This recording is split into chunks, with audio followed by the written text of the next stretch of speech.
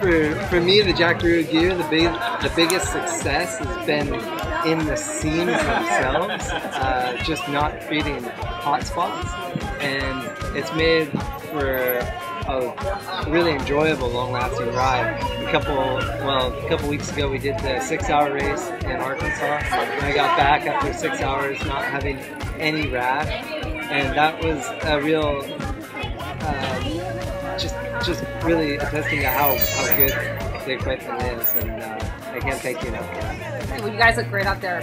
Thanks. Yeah, look good. Thank you. I, I love the kit. It's really top class, and uh, I think they've outdone themselves in the new skin suits. And uh, yeah, I, I really like the kit. It's good quality, and uh, I enjoy it a lot. Great. I love the stuff. The the kits are awesome and they're comfy.